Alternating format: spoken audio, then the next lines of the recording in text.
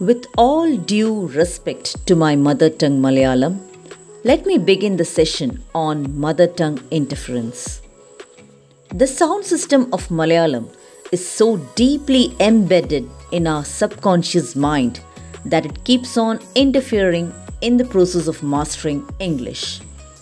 As a result, certain mispronunciation can happen. Let's begin with some basic common mispronounced words.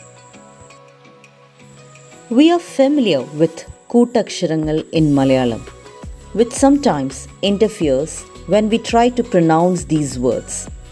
Whenever we see the double letters, we have a tendency to emphasize by pronouncing them with a greater degree of force, like L I T T L E, little, L E T T E R, letter, but it's wrong.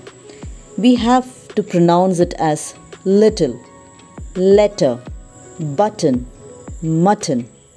S U M M E R, it's not summer vacation, it's summer. F O O D, it's not food, it's food.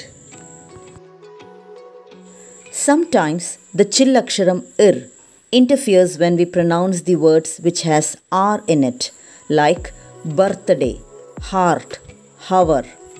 It's wrong. These words should be pronounced as birthday, heart, R, umbrella, homework properly.